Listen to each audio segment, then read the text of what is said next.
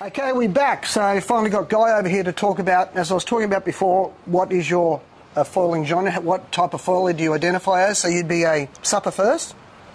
Sure, yep. Into, yeah, then downwind. Hey? Downwind. Supping? Supping, yes. Cool. So you're a supper. I've sort of stopped supping now.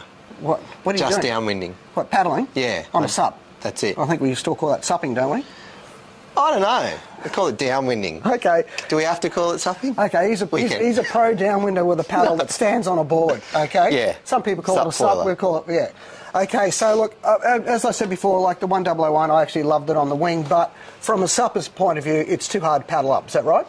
In strong wind, it's great, but our conditions are really light. So we're, we're finding like we're doing a lot of really light runs, and we get to the start, and the wind might drop to like, you know, 12 or then under. Yeah. And so if you if you're paddling out with that, you're a bit apprehensive some days here. But over 15 to 18, that thing's Yeah. insane. Yeah. Okay, just just taking a bit more on that. So that's coming from a pro, and I'm like still semi-kook with all this. So if they if they even are reluctant on it, and you're not a, a, a really good um, downwind paddler, just forget about that totally.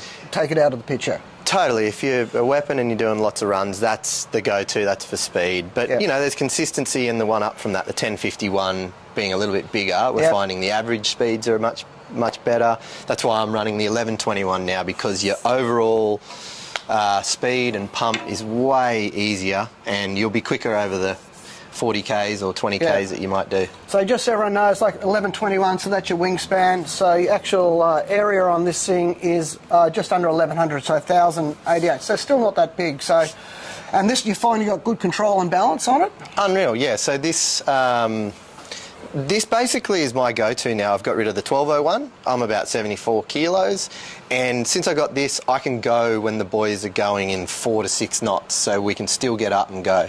Since adding the 362, I used to have the 362. That has been a game changer. That's got me down bumps. I can push forward, and I can, you know, I can get up to 34 Yeah. on most runs in really light winds. You know, 30. Um, And, just and fuse wise, you're just sticking to the short. Sticking with the short, a lot of guys have gone to the advanced. Um, I should probably go to the advanced. I will one day. Just been a bit lazy, but um, pretty Well, happy with just- that setup. sticking with what- Sticking with what works, yeah. Yeah. And it, it's pitch, it's pitch control too. So I like that being nice and stable. So, and it gives you a lot better stroke the longer So, the fuse. so going back to the old HPSs and all that, so let's just say I've got a 1050 HPS at home. Mm-hmm. How would you compare that to sort of this 1121? It's slower, uh, it's easier to paddle up, but once you're up, this is actually way better. So once you're up on this, you'll love it. So the problem with the 1050 is once you're up, you're turning off the bumps behind a lot, and this you can push forward.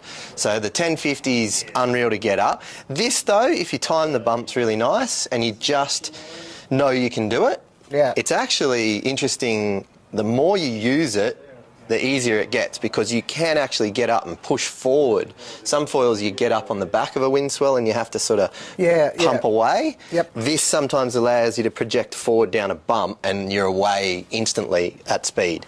Yeah, well, that's what I that's what I found on this with the, the wing. So, but just going back, so what about the original ARTs? There's a lot of people saying, is it worth going from the original ART to the ART Pro? For me, 100%, because all those those ARTs they work.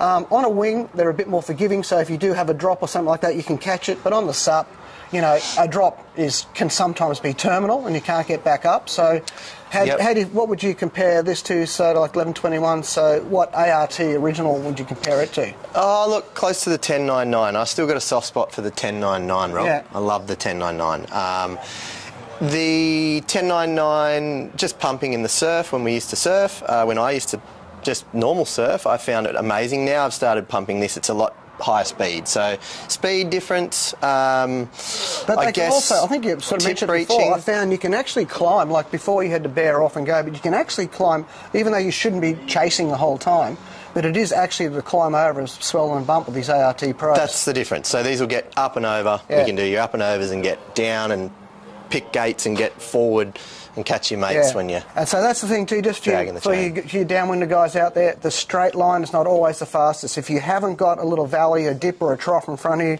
you need to bear off, roll back, pick up another one and come back.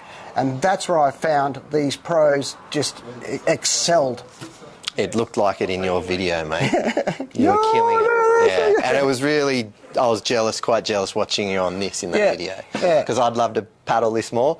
I'm working up to it. You just got to uh, Well, I'm, have going, some I'm going on again today, so hopefully after this, I'll, if I'll uh, put some more vision up, so I'm going to doing a big epic downwinder today. So I'm going with all the kite dudes, and they're just going to look at the back of my head. They probably will, yeah. So play around with rear wings too, guys. This is really interesting. I went down um, too early. Uh, now, this is not really affecting anything for me. It's the timing getting up, and so Yeah, I, I found too, like, you know, I was going micro. You always see me at Pyrrhus chop shop. I was chopping stuff down. I've actually gone to reverse now because if you got a really efficient tail, because my theory was um, you go fast enough, that tail is going to surface and cause a front wing breach. But these new tusk, what are they called? What do you call these ones? The flats or something, are they? uh, skinnies. Skinnies. These skinnies are so efficient. You can put so much juice and speed into them, and they don't um, foil up and cause a breach. So, um, they're- Yeah, so they come in, you know, these, the, basically the 360 45. There's one under that that I'm about to try too, but the boys are using it and loving it. So Yeah. just to get that top end, you know, when Yeah. you're actually needing to get down bigger swells is really, actually, a, it makes a big difference. So All right, no worries then. Okay, folks, so there you have it. From a pro supper to all the punters out there, get out there and have a look at these Axis Pros. And thanks for joining in. Come into Surf FX, ask for Guy, and we'll see how we go. Thanks. You, you.